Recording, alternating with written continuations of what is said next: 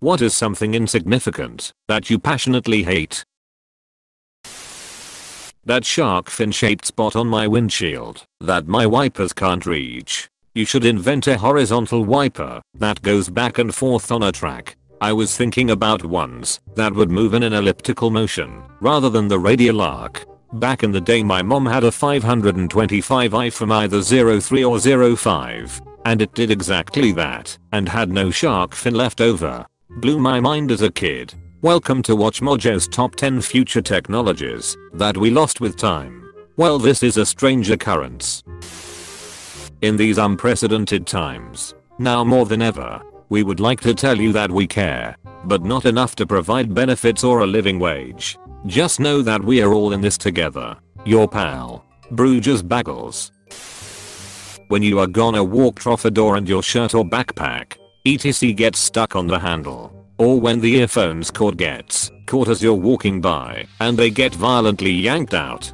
Fills me with irrational rage every single time. This one is theorized to be a survival mechanism rather than something truly irrational. You aren't thinking about your head slashes and then suddenly there's a large and unexpected sensation concerning your ears. Across millions of years of evolution, such a sensation is usually some form of threat, another animal attacking you, something hitting your head, etc. Your brain doesn't know what it is and wasn't expecting it. All it knows is you are probably already under attack. So the safest course of action is to prime you for a fight, since you might already be in one without realizing it, by kicking in the adrenaline and the rage. Yeah I would probably have the same reaction if someone came up to me and gave me two simultaneous surprise wet willies.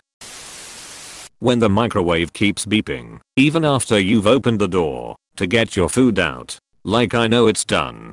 That's why I'm opening it. You don't need to keep screaming at me thanks. Best thing I ever googled is the mute combo for my microwave. Most microwaves have a hidden function, like hold down button 2 to turn off the beep notification. Saved my sanity and hearing. I need to look this up for my mom's microwave. It gives four very loud, shrill beeps when it's done, and if you don't get the food out within a minute, it does it again.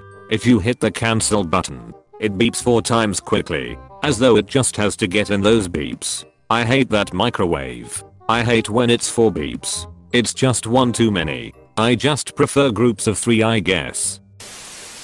Groups of people who block the entire sidewalk as they walk and talk. Walking so slowly without regard for anyone else. My dad always taught me to be a person that pays attention to their surroundings. It bothers me also when people do this. If they are a full grown adult sometimes I say something. I feel like a parent telling random people this. Same. I end up cat herding my friends too, slash People who try to get on the elevator before letting people off. Or onto the bus before letting people off. Or the train. Putting on the brights to compensate for a dead headlight. Or people who just use the brights all the time and are inconsiderate of other drivers. Oh. And those newer headlights that are blue tinted. Dunno what they are called and are stupid bright. I have chronic migraines and that shit gives me one every damn time. I'm not 100% sure but those might be called xenon headlights. They are more accurately referred to as HID headlights the ones that are slightly blue and usually have the projector style lens rather than the big reflector dish. The worst ones in my experience are the HID slash xenon effect halogens which are just a regular halogen bulb with a coating on the tip to cut the non-blue wavelengths somewhat, making them cooler and in the US also non-road legal, although everyone ignores that fact. They actually reduce your own visibility, making it harder to see where you're driving, while dazzling slash blinding oncoming traffic. People who stand in a 30 minute line, but wait until they get to the register to look at the menu. Mine is kind of like this. Why doesn't a drive through have two menus? I hate how I'm waiting behind another car for 5 minutes and can't see the menu. Then when I pull up and can finally see the menu they ask me what I want right away. The local Jack in the Box has a double menu setup in the drive-thru. The first menu is exactly one car length in front of the actual ordering menu. It's lovely. I worked at Jack in the Box for two, five years and I loved that we had the two menu boards. But it made it even more frustrating when people pulled up to the intercom and then made me wait 2 minutes before giving me their order. Something people that have never worked fast food might not know is we have 3 minutes from the time they pull up to the intercom until they pull away with their food. Otherwise we're in the red and can be written up. Is that why sometimes I'm told to find a parking spot and they'll walk the order route? I want a reason to tell my friends when they get pissed off for no reason when we are asked to do that. Oftentimes this is because one or more of the items you've ordered are not yet ready and the items for cars behind you are. If they have you clear the drive through they can continue the throughput of the people behind you. Video game ads that don't show actual gameplay footage or the ones that show what looks like a fun game but is actually just another Candy Crush. I'm looking at you. Homescapes. That's so many mobile game ads. It feels like there are three types of mobile games. Shitty Match 3, Shitty Kingdom Builder, and Shitty MMORPG. Don't forget about Shitty Gacha, and Shitty Fallout Shelter. Shitty AFK games too. People that pull out in front of you when no one is driving behind you and then drive 20 miles an hour this. Fundamentally I don't mind people pulling out in front like this. But if you do, fucking gun it. The rule I was taught was that if the person you pulled out in front of has to slow down, you should have waited or accelerated faster. Though this is my own addition. This is the way. Ick now that little bit of soda at the bottom of the can that you can never reach. Edit. This is my absolute greatest pet peeve thank you for everyone who agrees with me. But if something knocks over the can it will magically be able to spill out. Yet when I snap my spine into 20 different pieces bending over backwards for that little sip it won't even go near the exit of the can. People who talk on speakerphone or listen to music slash videos without headphones in public. Literally no one else wants to be subjected to your noise pollution. Stop it. Pretty sure this was the one of the lost commandments. Thou shalt fuck off with that bullshit. Something like that.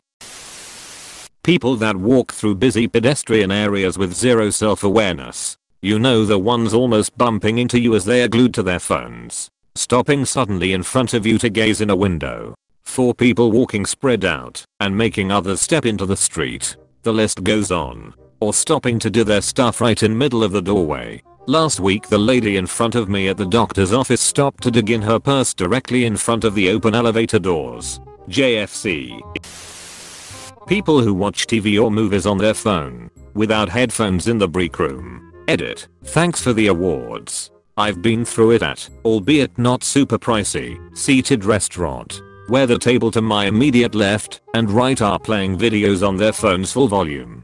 One was the raucous laugh track after every literal sentence insanity of two and a half men. The other was a revolving set of internet fail clips completely ruined my meal, and because no one else seemed bothered I endured it in silence. We've asked to move in a restaurant before. Someone was letting a full volume tablet babysit their kid at a table adjacent. The staff seemed a little put out, until we said we'd be happy if they asked the other table to turn the tablet down. They moved us happily and quickly instead. My wife and I were out to breakfast one morning and a lady came in with two kids and sat near us. They were probably about age 2 and 5 or so. Well she immediately gives a tablet to one kid and her phone to the other while she reads the menu. Super loud videos and games start up and I'm immediately annoyed. Then the human slash boyfriend slash dad whatever walks in a me ITM or two later and sits down. Grabs both devices and turns them way way down. Looks at her and says aggressively what is wrong you? We're in a restaurant. That was so rude. Then he leaned over towards us and apologized for the noise. Then I felt really bad because watching their dynamic during our meal made me think that he did all the parenting and she just ignored him and the kids. When people inappropriately use an apostrophe in the plural form of a word. Sunday's apostrophe. My manager wrote, because Christmas is this Friday, employees will be allowed to wear jeans to work on a whiteboard. I couldn't stop staring at it. I didn't say anything but I discreetly erased the apostrophe when no one was looking lol. Where jeans what? The suspense is killing me. And have we even asked Jane about this? People that are ahead of me in the gas station buying a shit ton of lottery tickets. or scratches then they stand at the counter to scratch them off, lose, and then buy more. Rinse and repeat. The really fucked up people are the ones who just scratch where the barcode is and immediately hand them back to the cashier for price scanning. I promise you, as someone who spent years working at a gas station, we hate that at least as much as you do. My wife leaving the microwave on a random number instead of zeroing it out so the time displays. I don't know why it bothers me so much but it does. My husband does this too. I hate looking up for the time and seeing 0021 instead. I also keep a plastic cover in the microwave. You're supposed to place it over the bowl or plate you're microwaving to prevent food splatter. Husband doesn't use it, which is fine. But he takes it out of the microwave, heats up his food, takes the food out, and leaves the plastic cover on the stove top instead of putting it back in the microwave. Drives me batshit, and I've asked him countless times to please put it back but he doesn't. Tell him it's now exclusively his job to clean the microwave. But then the microwave would be dirty forever. Commercials that have the food cannibalize each other. Just, why? Not exactly cannibalism. But the Pop-Tart commercials make me rather uneasy.